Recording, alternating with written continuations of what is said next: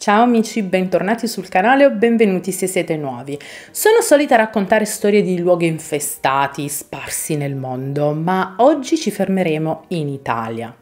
In un luogo ormai famosissimo, soprattutto per gli appassionati del mondo del paranormale. Infatti quasi sicuramente eh, vi sarà già capitato di vedere qualche video di gruppi di ricerca che hanno indagato proprio in questo ospedale o semplicemente di visitatori curiosi e appassionati di urbex. Ma vi siete mai chiesti che cosa si cela dietro questo luogo macabro? Molte sono le voci che circolano a riguardo e ancora di più sono le testimonianze di persone che si sono avventurate al suo interno riportando alla luce una storia davvero macabra. Ma come sempre, prima di addentrarci nella storia, assicuratevi di essere iscritti al canale e di aver attivato la campanellina delle notifiche, così da restare sempre aggiornati sui miei prossimi video. Detto Detto questo, sigla e partiamo subito con la storia di oggi.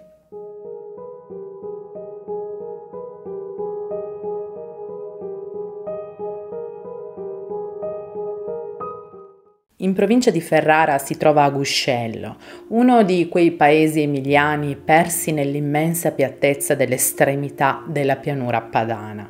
Il nome probabilmente non vi suggerisce nulla, a meno che non siate appassionati di occulto e storie di fantasmi, legate all'ospedale psichiatrico infantile omonimo. Arrivando ad Aguscello ci si trova di fronte a un giardino dove la vegetazione ha preso il sopravvento e al centro la struttura fatiscente di tre piani con il portone d'ingresso sbarrato, nessuna imposta alle finestre e il tetto in parte crollato. All'interno dell'ex ospedale psichiatrico tutto sembra essersi fermato al 1970 anno in cui il manicomio fu frettolosamente abbandonato. Unico segno del passaggio della civiltà moderna sono i resti di riti satanici e vandalismi. La storia di questo ospedale si perde nell'Italia fascista degli anni 40 e le uniche notizie certe sono che l'ospedale, in possesso della Croce Rossa a seguito della vendita fatta da Amelia Guerra, ovvero moglie dell'ultimo proprietario, la struttura venne messa in mano ad una madre superiora cattolica e trasformata in un ospedale psichiatrico per bambini, utilizzata fino all'inizio degli anni anni 70 quando fu poi abbandonata per motivi che restano ai più ignoti. Dalle varie fonti e testimonianze su questo luogo, ricostruite e riportate successivamente sul web da chi vive in quelle zone, raccontano particolari macabri riguardo quella che sarebbe poi la vera storia dell'ospedale.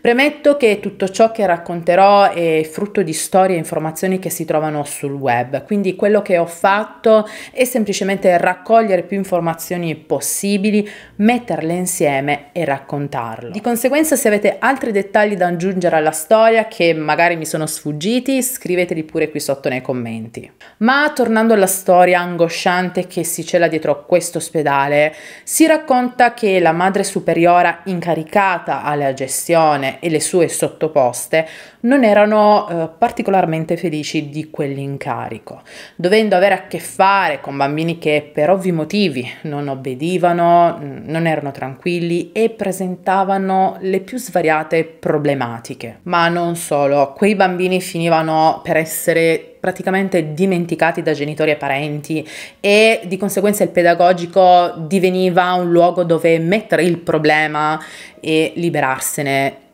se non dimenticarsene. Ed è così che a poco a poco personaggi benestanti si avvicinarono a questo luogo di tristezza per trovare quello che per loro era un vizio. Cominciarono a pagare la madre superiora, a pagarla tanto perché gli facesse avere dei bambini da usare e sfruttare a loro piacimento, certi che nessuno li avrebbe mai cercati. E davvero amici, fino a qui è tutto così raccapricciante e disumano. E si spiegherebbe anche eh, il perché ad oggi tutta la documentazione medica e tutte le cartelle cliniche sono spariti nel nulla, come se mh, mm, non si dovesse sapere cosa accadesse ai piccoli pazienti tra le mura dell'ospedale. Di sofferenze e abusi che vengono confermati poi dal ritrovamento di un elettroshock Un nome emerso dai racconti e confermato dalle rilevazioni fatte successivamente da diversi esperti nel campo paranormale eseguiti proprio sul posto è quello di Filippo Erni, un bambino affetto da disturbi psichici che avrebbe ucciso alcuni pazienti. Ma andiamo per gradi perché prima vi voglio raccontare di un vecchio tunnel sotterraneo, eh, oggi ancora visibile ma pare sia allagato, che eh, portava direttamente dall'istituto al castello degli Estensi. Questo tunnel era stato costruito ai tempi della Prima Guerra Mondiale per potersi spostare al sicuro dagli attacchi.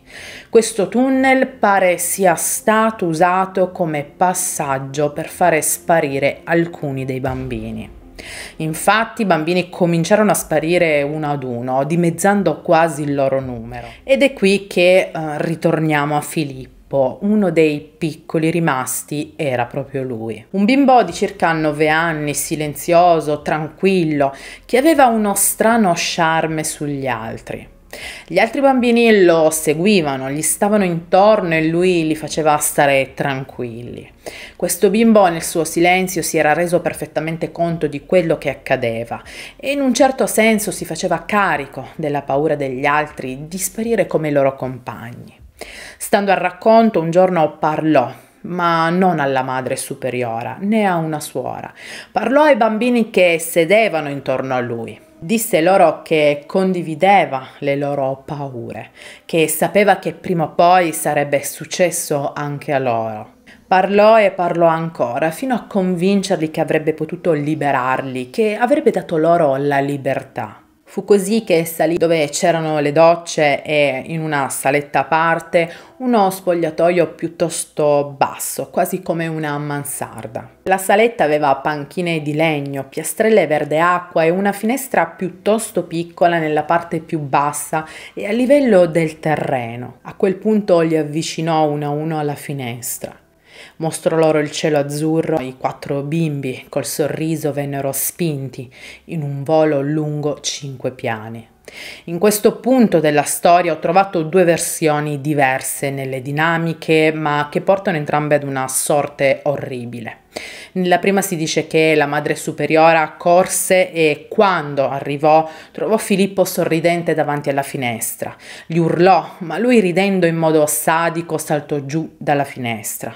L'altra versione invece afferma che a seguito del suo gesto sarebbe stato messo in isolamento in una camera all'ultimo piano dell'ospedale. Il bambino cercò poi in mille modi di evadere da quella sorta di prigionia, finché un giorno si gettò dalla finestra. C'è da aggiungere che nella prima versione, ovvero quella dove anche Filippo si lascia cadere nel vuoto, ho trovato altri dettagli macabri. Infatti si racconta che nel momento in cui si stava consumando la tragedia, il contadino dell'appezzamento a fianco stava curando il suo terreno quando venne attirato dalle urla e vide l'orrore e la morte saltare per ben cinque volte da quella maledetta finestra. La polizia polizia venne allertata e accorse immediatamente. Bene amici, a quel punto furono trovati solamente quattro cadaveri ammassati.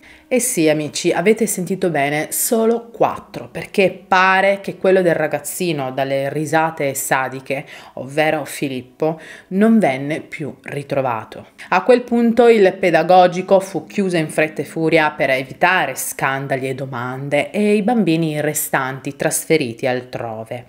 Ma un'altra teoria più agghiacciante suggerisce che nell'ospedale successivamente sia scoppiata un'epidemia che avrebbe fatto strage tra i pazienti.